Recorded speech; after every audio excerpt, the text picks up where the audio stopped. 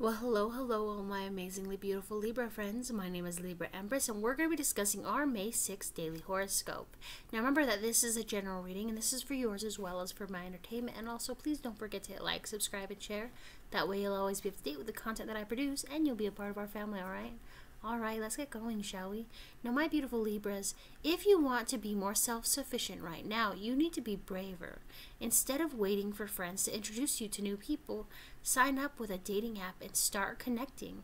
Call up that company and see if they're hiring. The things you want in life are a lot easier to get when you realize to just go for it, okay?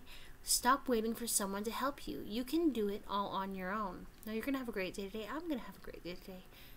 Please don't forget to hit like, subscribe, and share, and join me again for tomorrow's daily horoscope. I love you, Libras. bye bye.